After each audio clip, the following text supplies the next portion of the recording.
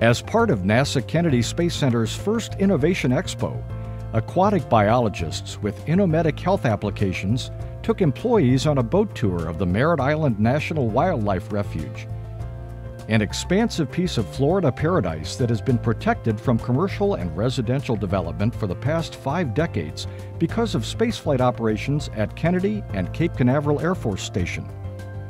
The island's nooks and crannies have become a sanctuary for more than 1,500 species of plants and animals. More of a regional standpoint, we have over 70% of the wetlands.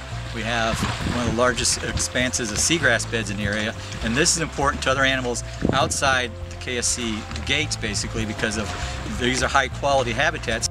Biologists are able to track the movements and survival rates of sport fish, sharks, and protected sea turtles with the Florida Atlantic Coast Telemetry Array. The strategically placed constellation of sensors tracks tagged animals as they move through Kennedy and the rest of the Indian River Lagoon, sending data back to various government agencies and universities.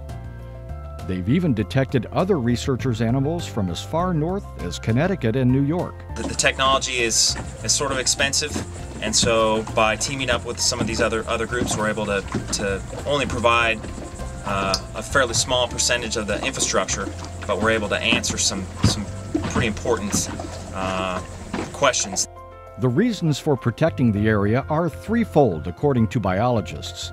First, Federal mandates are in place protecting the wetlands and surrounding lagoonal waters, as well as several threatened or endangered species of animals.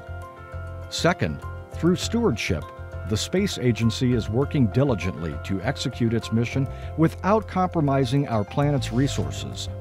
And third, there is a substantial role that the ecological health of Kennedy's wildlands and the refuge play in our economy. The economic value of the Indian River Lagoon was estimated like $3.7 billion with a B every year.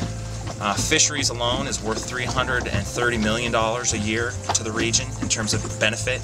That, that's got to be hundreds of jobs, directly or indirectly. And by preserving this habitat and the wildlife in a, in a fairly healthy state, we, we preserve that, that economic uh, benefit as well.